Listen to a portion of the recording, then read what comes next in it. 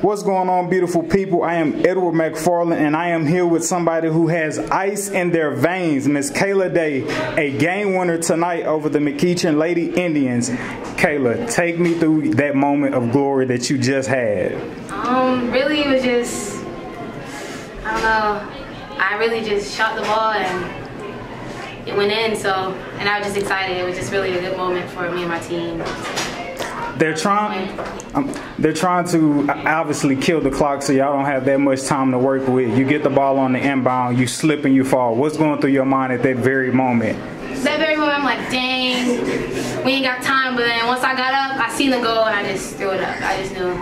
I, I knew I had the angle, but didn't know if it was going in. But definitely seeing the goal, knew I had to shoot it up before it was too late. Did it feel good coming off your oh, hands? Yeah, it definitely felt good. It definitely felt good. Yes, it felt good.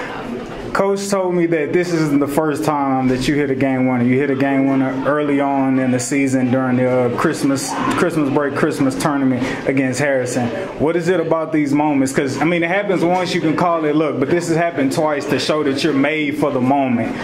Why do you feel like your coach calls on your number when it's time for a basket and it's time to win a game? Uh, we know that the other team mostly like looking for me to get the ball, to have the ball at the last minute. So getting the ball and be able to get the distraction off the team is really to get my other teams, other teammates open. But once they are too much on me, I just it's just in my hands and I just shoot.